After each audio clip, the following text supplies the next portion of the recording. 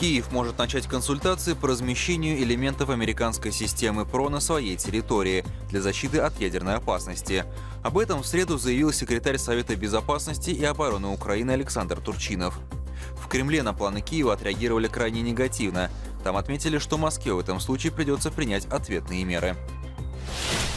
Совет Европы, куда входят 47 стран, в том числе и Россия, готов усилить борьбу с международным джихадизмом. Для этого планируется стандартизировать законодательство и создать круглосуточную систему обмена данными. Предполагается, что эти меры затруднят боевикам выезд в горячие точки, а также помогут розыску и преследованию джихадистов.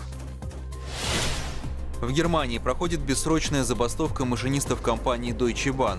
Не ходят как пассажирские, так и грузовые поезда. Предыдущая забастовка прошла с 4 по 10 мая.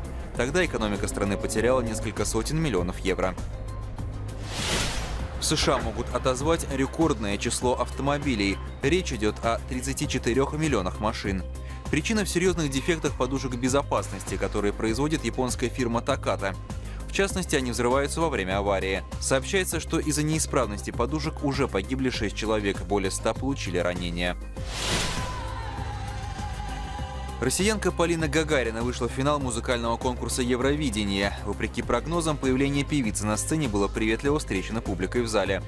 Помимо Гагарина, из участников первого полуфинала финалистами Евровидения названы представители Албании, Армении, Бельгии, Венгрии, Греции, Грузии, Сербии, Румынии и Эстонии.